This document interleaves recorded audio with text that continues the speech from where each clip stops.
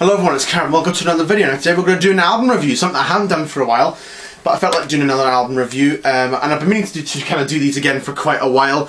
Um, something I want to do again is like go over albums and stuff like that, and talk about them, and even you know, even see if they're good or bad, things like that. Today I'm going to be reviewing one of my all-time favourite albums, and this is a video I've been wanting to do for a while, and um, it's one of my all-time favourite albums. It's Tom Petty and the Heartbreakers and Damn the Torpedoes. Now this is an album that I'm going to be reviewing today. I'm going to go over the, the background behind the album, show you my copies of the album, go over each track, talk about them, and give the and we'll and talk about the album as a whole. Um, so yeah, this was Tom Petty's third album, released on October the 19th, 1979, on Backstreet MCA Records. Prior to this album, Tom had made his first two albums, and the first one had initially um, not really gotten anywhere aside from like a couple some cities, and um, it eventually started to get a lot more attention um, after Tom and the Heartbreakers did a lot of touring for their first album, and then their second album came out in May of 1978, which was called You're Gonna Get It, and that also did quite well, and that is almost established Tom's ability as a songwriter, uh, as a songwriter. Sorry. Um, but prior to recording the album, they'd been with a producer called Denny Cordell, and it became apparent that the band and Denny Cordell had had kind of done all they could do together. Um, because Denny was kind of busy with his other things in his company and didn't really have enough time to work close with Tom and the band anymore. So Tom and the band were kind of looking for new for somebody else to produce the album, and they found Jimmy Iovine. Now, Jimmy was a successful recording engineer. Jimmy had recorded with Bruce Springsteen on the album Born to Run and Darkness on the Edge of Town. He also recorded Patti Smith, and he even uh, one of his early engineering roles was for John Lennon and his solo album uh, Rock and Roll in 1974-75. So Jimmy was a very successful um, engineer by this point, but he hadn't yet done a producing. So Tom and Jimmy got on very well, and Jimmy was actually really impressed with Tom's um, songwriting when Tom played him some of the songs he'd written. Jimmy was very impressed, and he actually said to Tom, and and that was the first and last time he said to him, "You don't need any more songs. You're you're, you're good." so, but also around about this time, uh, but we'll talk about that later on. Um, Jimmy was driven to get the band's best sound, so and that caused a bit of friction during the making of the album, particularly with drummer Stan Lynch, and even Mike Campbell found it pretty stressful as well on many occasions. There's, there's loads of documentaries where they talk about that. But also around about this time, in 1979, Tom Petty's record label, who he was with, Shelter Records, had been sold to MCA Records, who was a big corporation at the time. And Tom had felt that there had been this like agreement that he'd had with ABC, who were the distributor for Shelter, that if their contract was to be sold to anybody else, they would have to tell ask Tom for consent. That way he could reach or leave an agreement if he was to sell the contract on. And ABC said okay to that. Then the next thing that happened was that Shelter ABC was sold to MCA Records, and Tom was furious because he felt that there was that this had not been read. The consent agreement had not been read. He told tried to get out of MCA, but they refused to release him, and they in response sued. And Tom had been receiving a very low royalty rate since he signed Shelter in the very early days of his career, back in uh, the Mudcrutch days in 1974.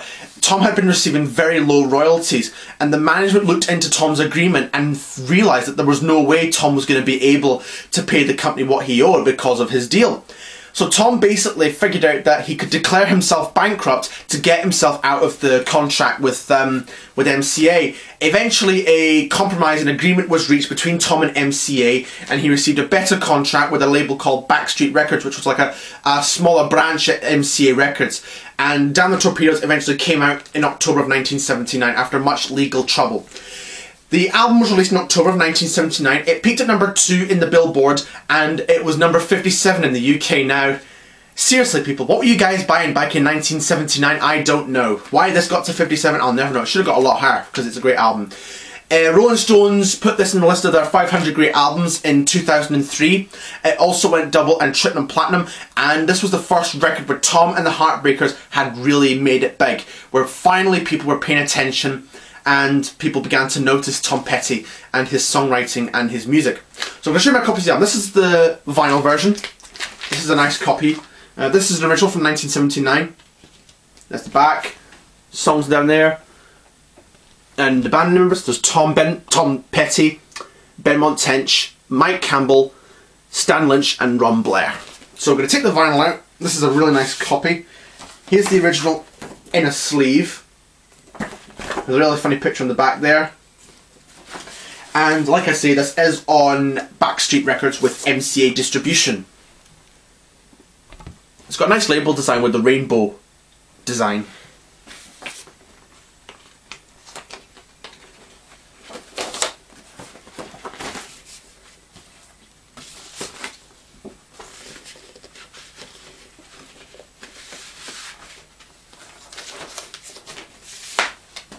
And I've also got another copy of Damn Torpedoes. This was my dad's old copy. I got this back in 2017, and as you can see, this is a bit beat up. Uh, this is actually my plain copy of Damn the Torpedoes. This is the one I, I play, because I don't, uh, I, I, I want to keep this one quite nice. This is the one I play. But it actually plays okay. Uh, it actually sounds, plays through all the way fine, no skips or jumps, plays fine. Um, uh, same label, MCA Backstreets, uh, label design. And I also have the CD of Damn the Torpedoes. This is the 2010, I think it's a remaster, I'm not sure, could be wrong, but uh, it's a 2010 release from Universal. There's the disc. Picture on the inside of Tom from the inner sleeve. Booklet, you don't really get much, you just uh, get the song lyrics, which you don't get with the original vinyl. Um, I don't think the original vinyl ever came with lyrics, but you get the lyrics in here, which is nice. But but nice to see some more pictures from the time and um, maybe like liner notes from like Tom or somebody like that about the making of the album. That would be nice to see, but hey oh. Anyways, there's this, all my copies gone over. Now we're going to go over all the album's tracks. So we begin the album with Refugee. This is my favourite Tom Petty song of all time. I love the jump start, the do do do, and I like the way it just starts off uh, the album um, it's a great way to start off an album, I think. Um, and it's got great lyrics. I really like Tom's vocal performances and even the backing vocals from Benmont Tench and Stan Lynch as well. It's great as well. This was one that they had tried to get right on a number of occasions, but for whatever reason they couldn't get the track right. They recorded several versions of this track in the studio. Um, and they were not really getting it getting it right. There's like loads of like even the one of the members, I think it was Ron, said there was like loads of takes of Refugee because they just couldn't get the track right. But eventually they, I think they went to uh, New York. They recorded this at Sound City, but they eventually got the mix right, and it's a great track. This was the I think one of the many singles off the album and one of Tom Petty's biggest um, biggest hits as well. Um, but unfortunately, the singles didn't really peak anywhere in the UK, which is a great shame because there's a, there really are a lot of great songs on here. But yeah, this one's been my favourite Tom Petty song, especially the live version on the uh, Pack Up the Plantation live album in 1985, um, which you can check out on um, on YouTube. Second track up is Here Comes My Girl, one of my favourite songs, and this is another great one. I get out the the drum and even like Tom hearing Tom Tomden speaking and then he starts does singing and speaking and singing things like that. Um, this is a great song and this was even a single as well, which I have the 12 inch of. Um, this is the 12 inch single for Here Comes My Girl uh, with Cassadaga, which is one of the ones they recorded for Damn the Torpedoes, but never made the album, and Don't Bring Me Down.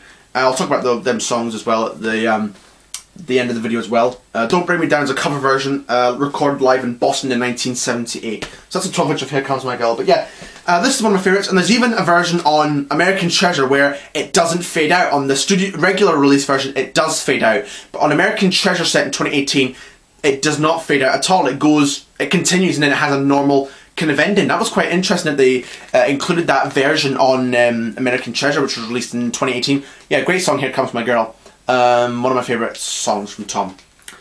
Another big hit as well. Then we have one of my favourites, and one that I don't think was ever a single, but Even the Losers. Even the Losers is one of my favourite Tom Petty songs again. I like the lyrics um, and the chorus screams quite mean, Even the Losers get lucky sometimes, which is quite a true saying as well, because, you know, Tom Petty seemed to be philosophical in his songs, and he has quite a true saying um, in his lyrics, which is what I love about this one, Even the Losers get lucky sometimes. Um, this was one that Mike Campbell had written. Um, he, but he was trying to figure out a riff in the middle or something in the middle, and he was kind of thinking of what would Chuck Berry, what kind of riff would Chuck Berry play, and he tried to play like a Chuck Berry style um, solo in the middle. Um, in fact, um, Mike Campbell co-wrote the first two songs with Tom Petty. Um, he kind of did them as kind of demos, and Tom kind of added the lyrics to them. Um, so yeah, th these are like this is a great song as well.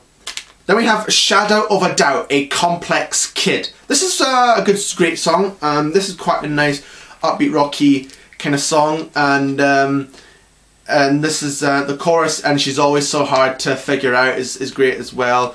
It kind of has you, you'll kind of catch it in your head. The chorus, it's quite a catchy chorus in many ways. Um, yeah, really great song. Um, don't know what much to say about uh, this one. Uh, but it's one that doesn't really get acknowledged as often, and it was one that Tom Petty certainly, on occasions, would play live over the years. But um, you can, um, but um, yeah, but there's a lot of great songs on here. A lot of great, great song, as I say. Um, hmm. Uh, anyway, the final track in side one is Century City. Now, Century City was written because uh, this was where the lawyers lived in Century City during their MCA lawsuit. They had to go to Century City uh, pretty much every day because that's where the lawyers were based uh, was Century City. Uh, something I didn't realise until like years years later. You would never have thought at the time that that was where they, that that's how they wrote it was because of that. Um, but um, yeah, it's a great song. It's a really great rocky, upbeat song, and it's really great as well. Um, great rocker, like a lot of songs in here. Century City. Turn over to side two with "Don't Do Me Like That." This is a great song. This was a song that Tom had had during his Mudcrutch days, but he revived it for this album. And He was going to give it to the J. Geils band originally, but um, I'm not too sure what the what happened. But he ended up not giving it and recording it for himself, which is a great move. Um, I really like the kind of the lyrics. Um, don't do me like that. Well, if I love you, baby, don't do me like that. Um, that was a, a, saying from Tom's dad. Tom always said in an interview that that was something his dad used to say. Don't do me like that, son. so Tom kind of took that, and that was why he called it was because that was something his dad always used to say. Um, next up, we have "You Tell Me." This one um, is a good song. Um, it's kind of um, it's a good song. It's quite a not as upbeat, quite slow, but it's still a good um, good song. And uh, it's one that doesn't really get looked at as often. And it was one that they, as far as that we know, never played live, um, which is unusual. But it's a it's a good song. Um, it's one that I like a lot. It's what I quite like, and it never it was all right at first, but then it, it, I eventually got to like the track a bit more after hearing it a few more times. There's there's some Tom Petty songs that when you hear them for the first time, sometimes you think, oh yeah, some are good, but then you, you give them a few more listens and they'll eventually they'll impact you. That's what has happened to me on many occasions with songs. First, I'll think, oh yeah, it's good, but then I listen to it again and I'm like, oh, I actually really like this um, this song. Um, then we have "What Are You Doing in My Life." This is another pretty good song. Um, this is a really good song, and um, kind of like uh, Tom basically singing about some kind of groupie or some unwanted um, stalker something trying to follow him.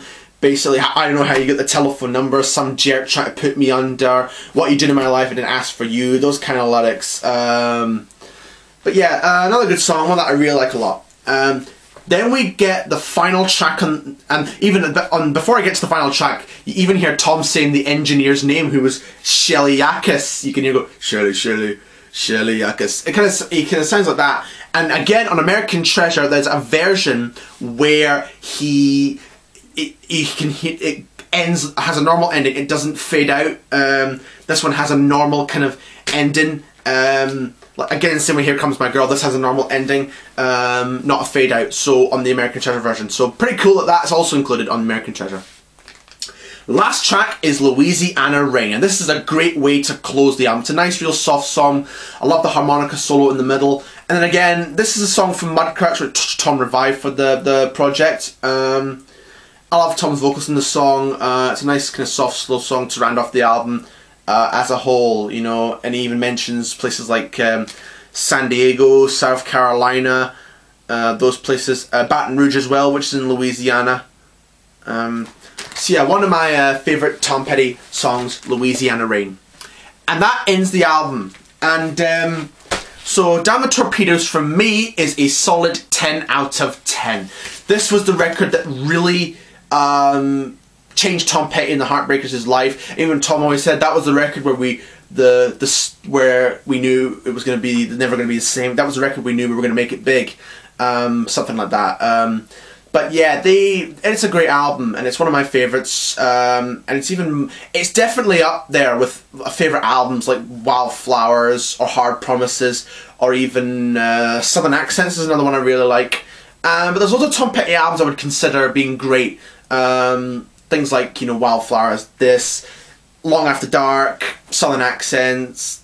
There's just loads of great albums I could name off the top of my head. Even Echo's another great album as well. Although that's quite a dark album, Echo's um, a great album as uh, as well. So um, yeah, and also uh, before I wrap up the video, I've also got a DVD. It's this classic albums, Damn the Torpedoes. This is a series of um, programs where they talk about classic albums, the making of them, and they even like review the mixes of some of these songs as well uh, by basically going to the multi-track masters and kind of playing isolated like a vocal track or a guitar, um, things like that, um, or even a shaker or a drum, bass, piano. They, they play the the whole thing, and it's really really a cool watch. You get to see Tom and the Heartbreakers, and even Jimmy Iovine and Shelly Yakus talking on here. So it's really great watch. If you can find this this DVD, if you're a Tom Petty fan and you don't have this, this is one I definitely recommend um, that you watch. So there we are, that's it for this video. Uh, so Damn Torpedoes is a 10 out of 10. Hope you enjoyed this video. Like, comment, subscribe. Um, and if you want to see more album reviews, vinyl updates, or if you want to see more videos in general, just subscribe, turn the bell on, and you'll be get notified when a new video comes out. So I hope you enjoyed this video. Thanks for watching. See you next time.